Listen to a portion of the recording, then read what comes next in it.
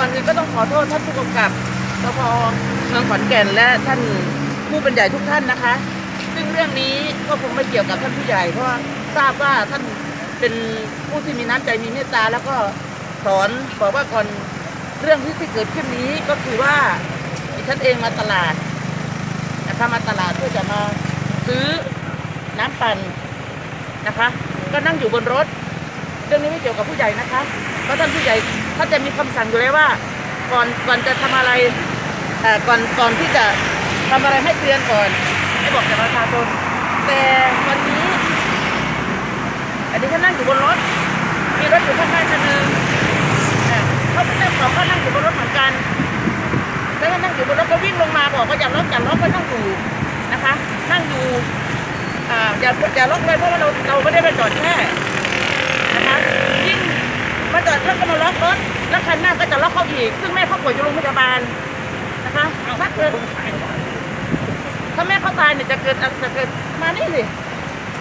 จะเกิดอะไรขึ้น ก็จะต้องต้องจะล็อกรถอย่างเดียวแล้วก็บอกว่าอย่าล็อกสิเรายังหนูรถอยู่อ้าวคุณคุณบอกคุณทำตามตามกฎหมายกฎหมายเนี่ยคุณจะบังคับให้เราผิดกฎหมายได้ยังไง ก็ในเมื่อเราต้องอยู่บนรถต้องมีเจตนา นะคะ ยิ่งช่วงโควิดคนทำมาหากินก็ลำบากอยู่แล้ว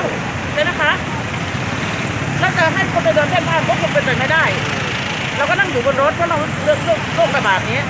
นะคะเราขอร้องไม่ยอมปล่อย ให้เราไปเสียแล้วบอกเอ้าเสียได้ยังเมื่อคุณรักรถฉันฉันจะเดินไปถึงโรงพักได้เหรอในเมื่อออกใบสั่งเนี่ย คุณบังคับให้ฉันผิดเหรอในนี่กรณีนี้คือตำรวจในนี้นะคะรหัสนี้นะคะ คุณฟังประชาชนด้วยเขากำลังเดือดร้อนอยู่หากินก็ยังยากลำบากอยู่ท่านเติมประชาชนนะคะ ควรจะมีนกหวีด แล้วก็บอกเขาได้ ไม่ใช่ว่าเนี่ยลงมาบอกแล้วคุณยังยังคุณยังอยากล็อกอยู่ซึ่งเป็นไปไม่ได้เลยเขายังหากินลำบากอยู่เนี่ยนายเนี้ยนายเนี้ยไม่เกี่ยวกับผู้ใหญ่นะคะ เกี่ยวกับคนคนนี้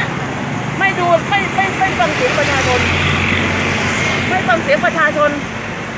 แล้วเมื่อเราบอกไปว่ามีคนแจ้งจับผมทำผิดอะไรฉันมาตลาดฉันไม่ข้ามดึงดึงกฎหมาย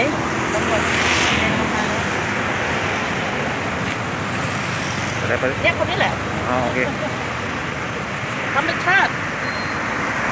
ทำร้ายหัวใจประชาชนเขาลำบากอยู่ยิ่งโควิดหากินก็ยากลำบากนี่คือคนเนี้ยพี่น้องประชาชนในประเทศไทยนะคะ และขอให้เรียนให้ผู้ใหญ่อ่าท่านผู้กำกับหรือ ผู้เป็นใหญ่ในหน้าที่ของเนี่ยให้ดูแลลูกน้องท่านด้วย ถ้าเกิด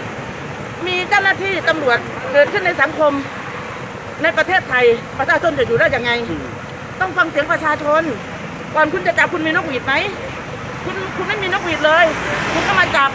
เราลงมาบอกว่าอย่าอย่าอย่าอย่าล็อกอย่าล็อกคุณก็ยังล็อกอยู่จะให้เราไปเสียเงินอยู่ที่โรงพัก